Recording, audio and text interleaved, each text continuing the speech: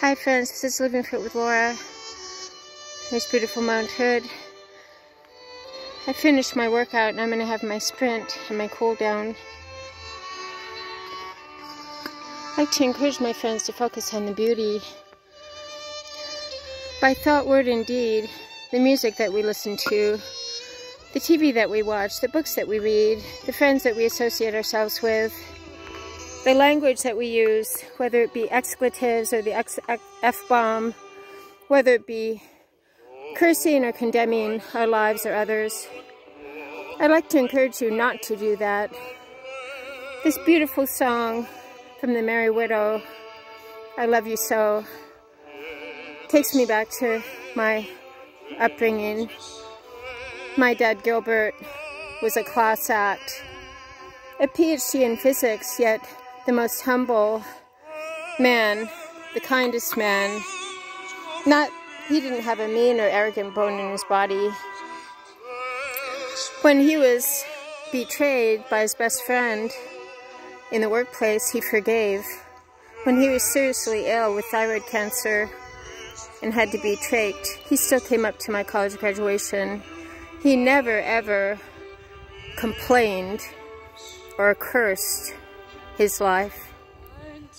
I'd like to encourage my friends to realize that we are our lives are created by our thoughts because what we think manifests in our lives. I'd like to encourage my friends to continue to seek the beauty. Get out of the sun here. there is so much beauty in the world. Of course there's sadness. Of course there is devastation and ugliness. And we don't want to live with our heads in the sand, but we also don't focus or feast on it. We must live well. We can continue to live well. We continue to soar as eagles despite the ugliness in the world.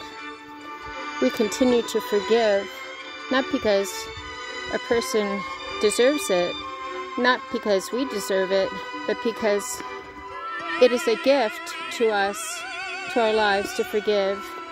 Our loving Creator wants us to forgive ourselves and others.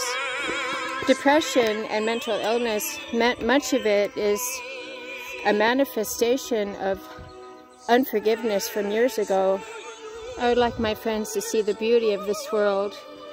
We continue moving forward to those things that lie ahead, putting behind us those things that lie behind.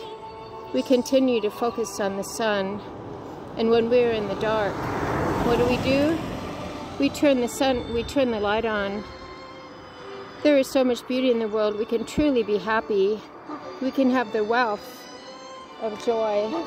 I have so much wealth because I am so joyous because I have the peace that passes all understanding.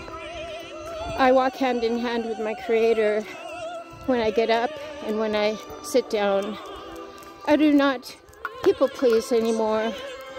I forgive when I, over and over, when I come across that thought that makes me re realize that I have not forgiven. Let's all see life as sacred and live well, leaving a legacy of hope. Because hope is our favorite four-letter word. Living fit with Laura on this glorious day to get and stay sane, stable, serene, and strong. I'm proud of you. Keep it up.